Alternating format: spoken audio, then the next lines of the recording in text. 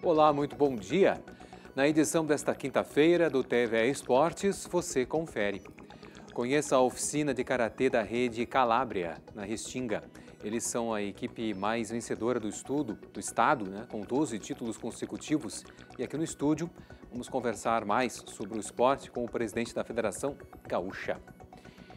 Os gaúchos dominam o sul-americano sub-18 de punhobol, comemoram títulos do masculino e feminino e tem aí a seleção brasileira sub-20 goleando o Paraguai na estreia do torneio internacional lá no Espírito Santo. TV Esportes está no ar.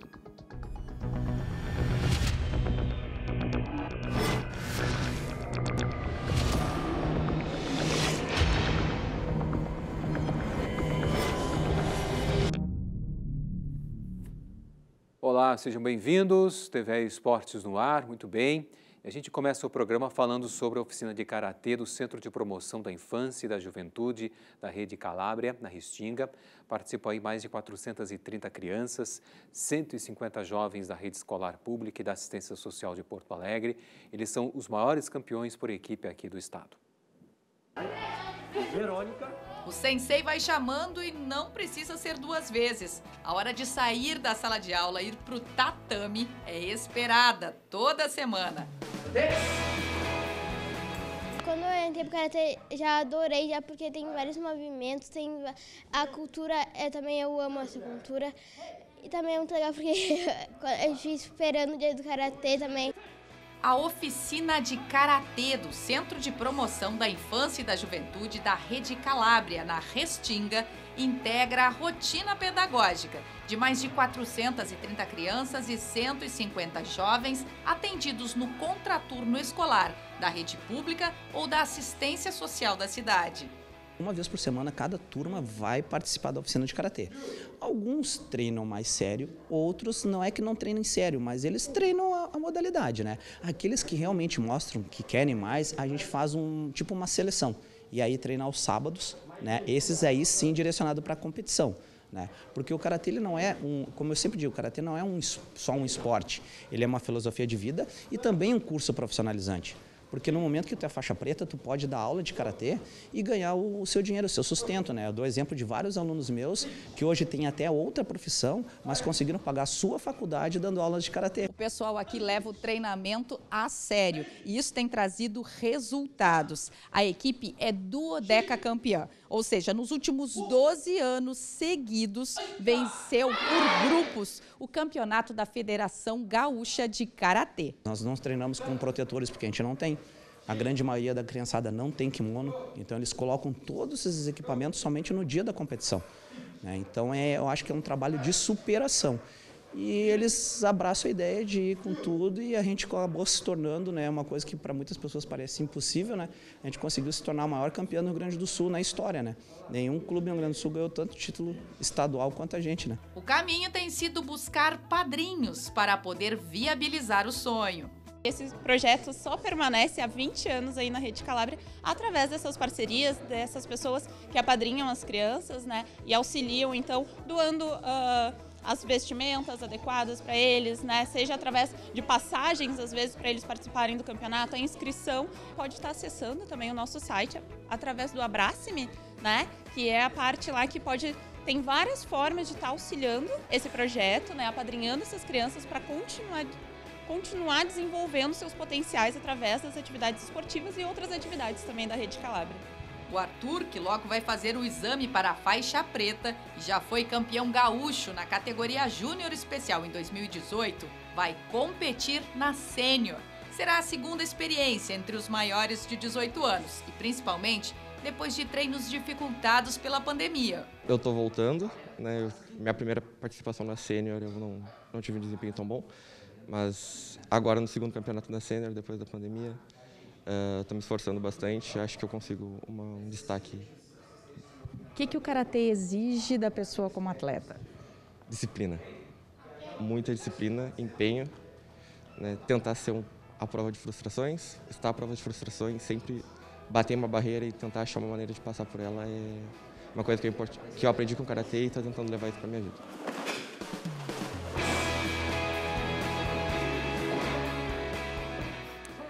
No TV Esportes, agora a gente vai seguir falando de Karatê. A gente está recebendo o Celso Piazeski, presidente da Federação Gaúcha de Karatê. Bom dia, presidente. Bom dia. Muito obrigado. A gente vai falar justamente uh, sobre o calendário né, do, do Karatê, mas é impossível, uh, depois da reportagem, vi pela tua emoção e também falando sobre essa trajetória desses meninos e também de vários ali, né, o Charles, inclusive, né, que estão em uma trajetória e é a prova viva né, de transformação do esporte para a transformação do Karatê, né, presidente? Sempre, sempre eu tenho, eu tenho assim, eu sou muito agradecido por eh, esses professores como o Charles e tantos outros acreditarem na época do projeto. Tá? Era uma coisa que ninguém fazia no Brasil. A gente foi o primeiro aqui no Rio Grande do Sul a colocar um projeto social de karatê.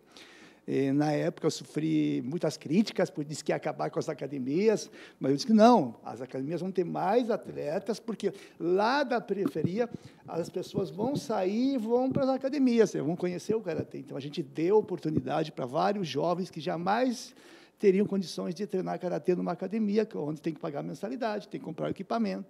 E nesse projeto social só cresceu, desenvolveu-se.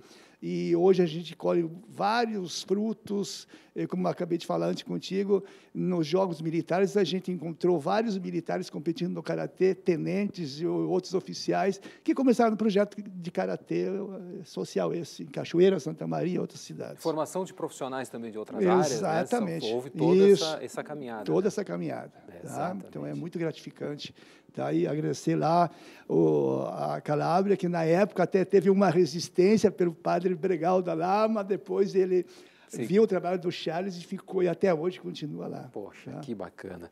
Bom, e justamente Cachoeira do Sul também tem né, projetos desse projeto, é onde vai acontecer que é uma competição importante aí, que é uh, o Campeonato Gaúcho 2022, mais uma etapa. O que, que dá para falar, como é que está organizado?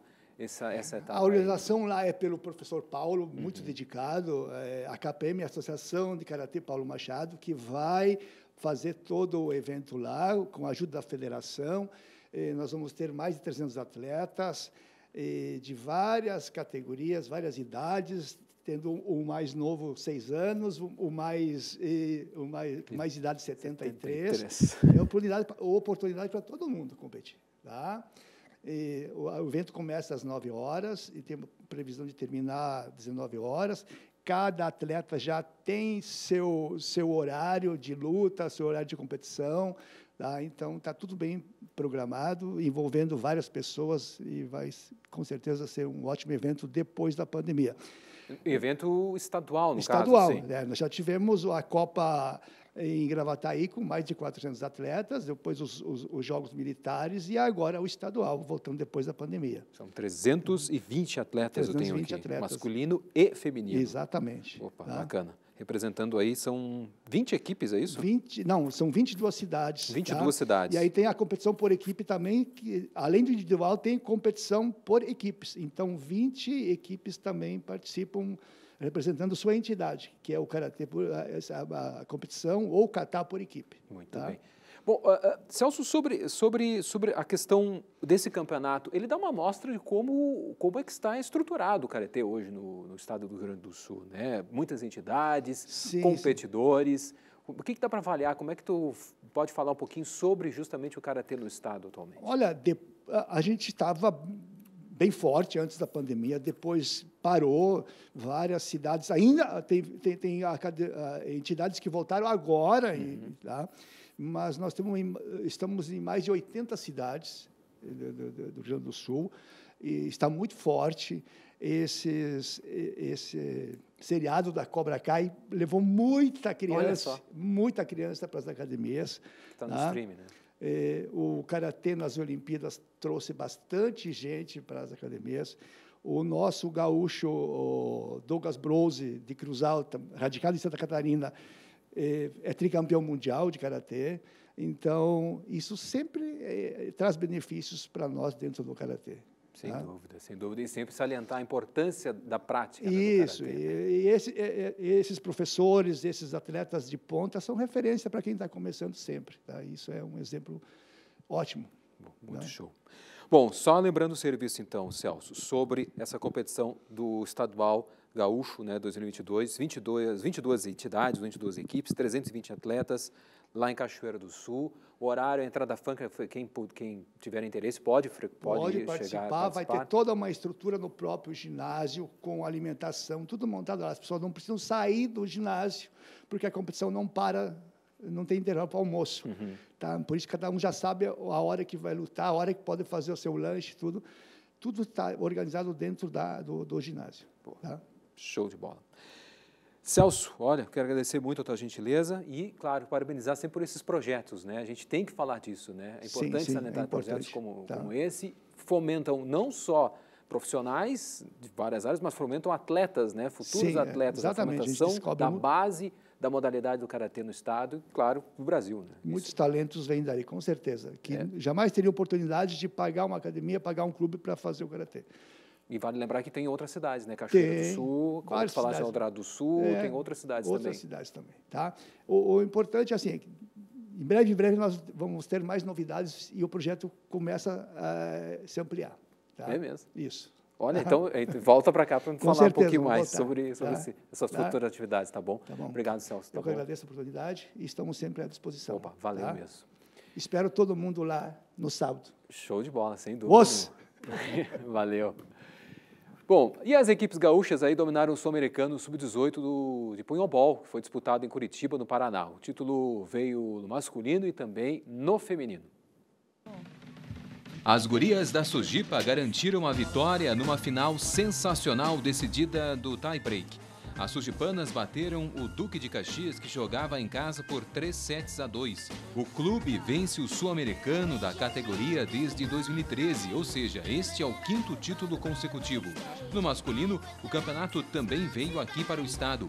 O time da ginástica de Novo Hamburgo foi o campeão, derrotando na final o Punta Chica da Argentina por 3 sets a 2, depois de estar perdendo por 2 a 0.